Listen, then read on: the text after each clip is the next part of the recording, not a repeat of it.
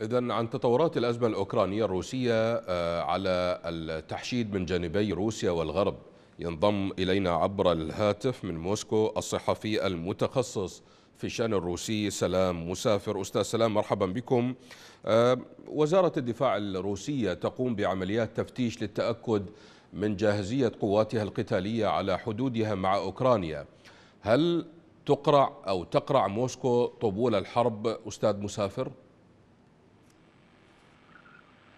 هو في الواقع استعراض قوة المعني فيها بالدرجة الأساس آه، حلف شمال الأطلسي الذي يرفض المقترحات الروسية ويرفض آه، الفكرة الرئيسة التي يستند إليها الروس نعم. في المفاوضات مع الجانب الأمريكي ومع بلدان حلف الناتو. وبالمناسبة هذه البلدان هي منقسمة على نفسها في الموقف من قبول المقترحات الروسية الروس يعتقدون بأنه بعد انفراط عقد الاتحاد السوفيتي تلقوا وعود طبعا كانت شفوية نعم. من الدرجة الأساس من حلف شمال الأطلسي ومن الولايات المتحدة بعدم توسع الناتو نحو الشرق أي عدم قبول أعضاء جدد من بلدان ما كان يعرف آنذاك بالمعسكر الاشتراكي. آه، وقد خالف الحلف هذا الشرط فضم دولا جديدة في آه، ما يعرف بأوروبا الشرقية أو أوروبا الجديدة يعني إلى نعم. جانب دول الحلف في أوروبا العجوز منها رومانيا و آه، هنغاريا وغيرها من البلدان التي كانت. أما في المدار السوفيتي تدور نعم وفي حلف آه، وارسو أو كانت جزء من المنظومة السوفيتية مثل جمهوريات البلطيق. السوفيت الروس الآن يريدون العودة إلى ما قبل آه، عام آه، 1991 يعني ما قبل انهيار الاتحاد السوفيتي نعم انه. طبعا ال- حلف الناتو يرفض هذه المعادلة يقول أن الانتماء لمنظمة حلف الناتو آه، العسكرية والسياسية. هذا هو قرار طوعي تتخذه البلدان وأنه مفتوح. علما بأن أوكرانيا لا تنطبق فيها مواصفات الانضمام إلى الحلف. يعني حسب النظام الداخلي لحلف شمال الأطلسي لا يجوز انضمام دولة لديها مشكلة نزاع على الأراضي. نعم.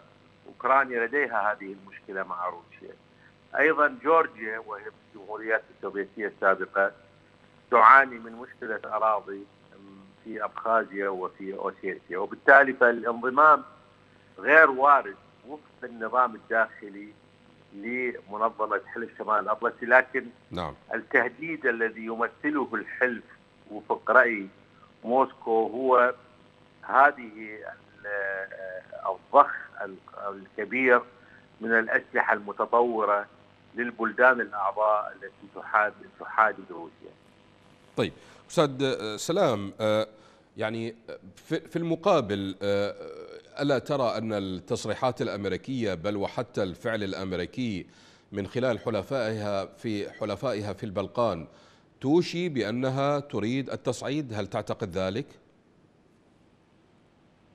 وهم الأمريكان آه، يلجؤون باستمرار إلى سياسة آه، الحفاظ على التوتر الدائم في العالم يعني لناخذ مثلا منطقة الشرق الأوسط منذ سنوات طويلة بل منذ عقود وهم يهددون إيران مثلا على نعم. سبيل المثال وإيران في الواقع هي التي تهدد جيرانها.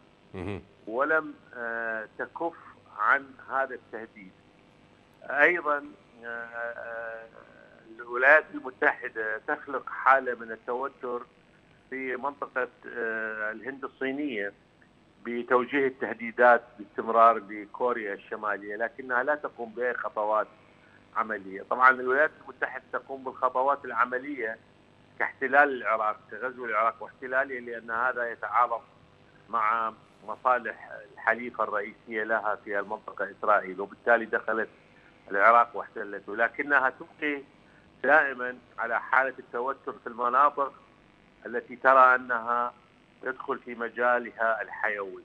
منطقة البلقان تدخل في المجال الحيوي الولايات المتحدة تقوم بالتهديد وتحاول أن تدفع روسيا إلى سباق تسلح جديد نعم. تعتقد فيه الإدارة الأمريكية أن روسيا غير قادرة بحكم عوامل تتعلق بإمكانياتها الاقتصادية رغم أنها بلد غني وفيه وفرة من المواد الخام لكن الولايات المتحدة باقتصادها الذي يشكل حوالي 20% من إجمالي الاقتصاد العالمي ترى في آه، سباق التسلح إذا خاضته مع روسيا هي ستكون الرابحة وكما تعلمون نعم. أن المجمع الصناعي العسكري في الولايات المتحدة هو الذي يحكم أي. وليس البيت الأبيض نعم آه، أستاذ سلام لو تحدثنا عن آه، موقف ألمانيا التي رفضت تسليح أوكرانيا وهي بذلك يعني قد خالفت ترتيبات حلف الناتو كيف يمكن يعني تفسيرها وقراءتها؟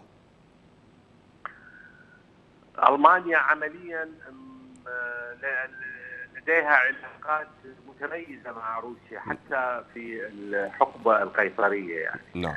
كانت ألمانيا دائما بالمناسبة يعني القياصرة الروس فيهم تجري الدماء الألمانية نعم في نفس الوقت في الحقبة السوفيتية وحتى في الفترة التي كانت الحرب الباردة مشتعلة بين الشرق والغرب نعم آه، قامت آه، ألمانيا الغربية أو ألمانيا الاتحادية آنذاك في نعم. السبعينيات بخطوة باتجاه الانفراج مع موسكو السوفيتيه.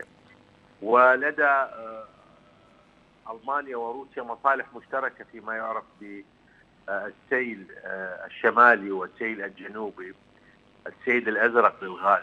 تعتمد آه، ألمانيا بشكل آه، رئيس على صادرات الغاز الروسية كما أنها تستفيد من مبيعات هذا الغاز لدول الثالثة هذا العنصر يلعب دور كبير في تباين موقف ألمانيا من مواقف بلدان حلف شمال الأطلسي وفي الحقيقة فألمانيا تعتبر دولة منزوعة السلاح نعم. عمليا. نعم. رغم أنها يعني لديها جيش لكنها حسب الاتفاقية بعد نهاية الحرب العالمية الثانية لا تتمتع بفرص كما تتمتع البلدان الأخرى وبالتالي فهي تنبذ عمليا أي نشاط عسكري في أوروبا قد يؤدي إلى تهزيم الأوضاع. يعني الألمان أصيبوا بدرس يعني تلقوا الدرس من الحرب العالمية الثانية. الثانية نعم. وهم يتعاملون بغض النظر عن ال- المستشار الذي يحكم أو نعم الحزب الحاكم في ألمانيا. نعم. يتعاملون بحذر شديد آه، مع موضوع الحرب والسلام. من موسكو الصحفي المتخصص في الشأن الروسي سلام مسافر شكرا جزيلا لكم.